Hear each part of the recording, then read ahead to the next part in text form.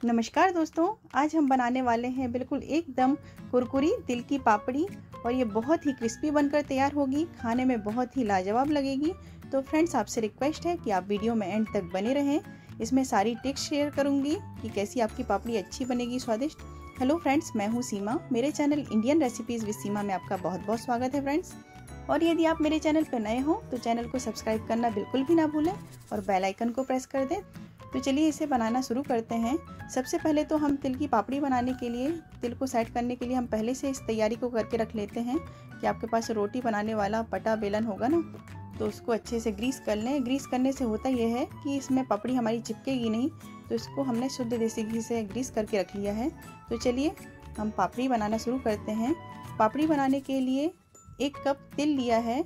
तिल अच्छी फ्रेश लें ताकि इसमें कोई भी कंकड़ वगैरह ना हो, क्योंकि देसी जो हमारी तिली रहती है, उसमें कंकड़ रहते हैं, फिर खाने में भी मज़ा नहीं आता, बीच में कंकड़ वगैरह होते हैं। तो इसको हमने पाँच से दस minute medium to slow flame पे हल्का रोस्ट कर लिया है। ज़्यादा नहीं इसको रोस्ट करना है, नहीं तो ये इसमें कड़वापन आने लगेगा, कड़वापन लगने लगेगा खाने में। तो इसको मिनिमम पाँच से दस मिनट ही रोस्ट करें, मीडियम टू स्लो फ्लेम पे। ये हल्का इसमें, जब तक कि इसमें हल्का गोल्डन कलर ना आ जाए हल्का सा गोल्डन कलर आ जाए और ये थोड़ी जब रोस्ट हो जाती है ना तो ये तिली ना फूली फूली नज़र आने लगती है। तो आप देख सकते हैं फ्रेंड्स कि ये तिली हल्की गोल्डन, ब्राउन कलर की हो गई है। ये हल्का सा हम इसको रोस्ट कर लेते हैं ना तो हमारी तिल की जो पापड़ी बनती है, बहुत ही अच्छी, क्रिस्पी बनती है।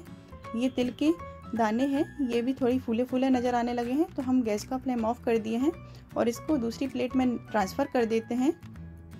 कढ़ाई में नहीं रखेंगे, क्योंकि कढ़ाई खुद ही इतनी मोटी रहती है, हीट रहती है कि उसमें तिल रखे रखे जल जाएगी।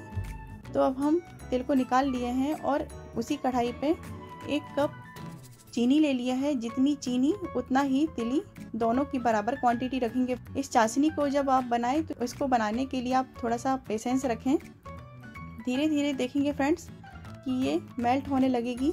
और इस समय आप गैस का फ्लेम मीडियम टू स्लो ही रखें, क्योंकि यदि तेज पे करते हैं ना तो नीचे से ये चाशनी जलती जाती है और फिर वो अजीब सी इसमें स्मेल आ जाएगी इस चीनी में।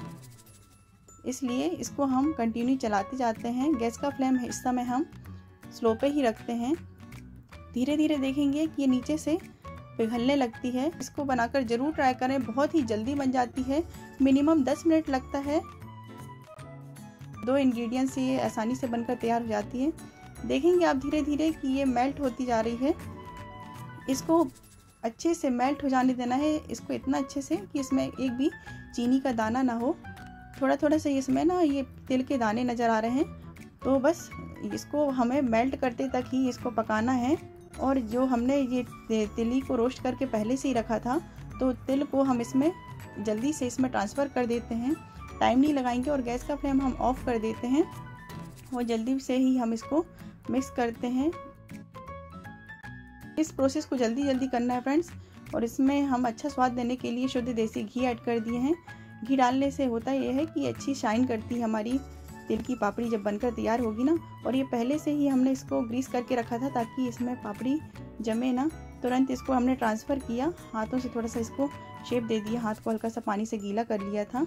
और इसको फटाफट से बेलना है ताकि अच्छा इक्वल शेप में आ जाए। इसको जितने ही स्पीड से आप बेलेंगे ना तो उतनी ही पतली बनेगी। लेकिन यहाँ पर मैंने थोड़ा सा मोटा बनाया है। तो फ्रेंड्स इस प्रोसेस को आप जल्दी जल्दी करें। ये थोड़ा सा थिक बनाकर रखा हुआ है।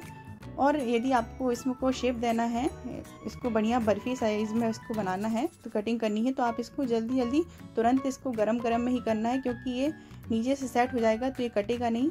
तो हमने तुरंत इसमें निशान बना दिया है। चाकू वगैरह की हेल्प से आप चाकू में ग्रीस कर लें, घी वगैरह से, उसके बाद करें।